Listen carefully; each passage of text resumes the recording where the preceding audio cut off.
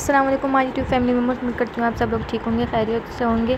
तो आज मैं आप लोगों से शेयर कर रही हूँ अपनी अफ्तारी की रूटीन जो कि बहुत ही, यानी कि बहुत जल्दी जल्दी काम हो रहा था और क्या कहते हैं, यहाँ एक तरफ़ हमने पापड़ तल के निकाले थे, एक तरफ़ आलू काट के रख लिए थे कि जो क्रिस्पी आलू पकौड़ा जो बनते हैं करने के लिए प्याज वो पालक के पकौड़े बनाने के लिए यहाँ आलू, प्याज और जो बेसन है वो बैठ के रख लिया था और पालक भी जो वो पहले से कर ली थी।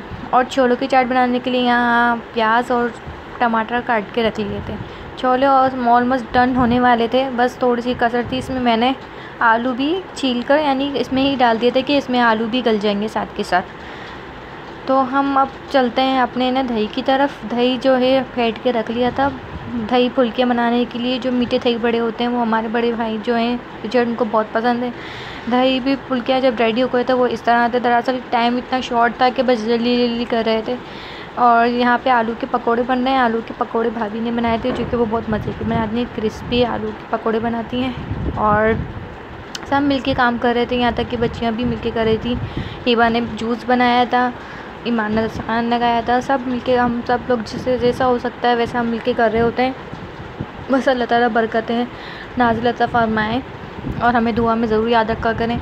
और जो पक, ये जो रमज़ान की जो पकौड़े तो इनकी तो बात ही अलग होती है। रमज़ान की अफ्तारी की जो होती है, उसकी बातें अलग होती है। ये दरअसल ये जो है मनावर उन्होंने हमें अफ्तारी भेजी थी। कल हमने उनके यहाँ भेजी थी तो उन्होंने उन्हीं बर्तनों में हमें भेज दी थी। तो ये जो फ्रू मैं छोलों की चाट जो बना रही थी उसके लिए मैंने पुदीना और हरा धनिया हरी मिर्ची पीस के ग्राइंडर करके इसमें छोले, आलू और क्या कहते हैं, प्याज, टमाटर सब कुछ मैंने इसमें ऐड कर दिए थे एक साथ और ये बहुत मज़े की बनी थी। सबने बहुत शौक़ से खाई थी और अफ्तारी की तो बात ही अलग होती है। जैसे जब अफ्तारी जब रोज़ा खुलता है तो इतना कुछ खाया नहीं जाता। बस फिर बाद में हम डन करते हैं। एक जो था वो शरबत जो था हल्तुन सा था और जो एक शरबत था वो था जाम शीरी था। सब बच्चों ने शौक़ से वैसे हल्तुन सा ही पिया था। क्योंकि सब लोग ज़्यादा शौक़ से हल्तुन सा वगैरह जो वो शरबत पीते हैं।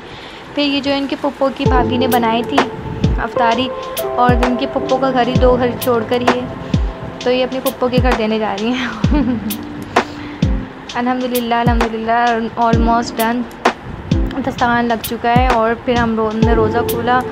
और हमारी वीडियो अच्छी लगी तो लाइक एंड सब्सक्राइब करिएगा। मिलते हैं नेक्स्ट वीडियो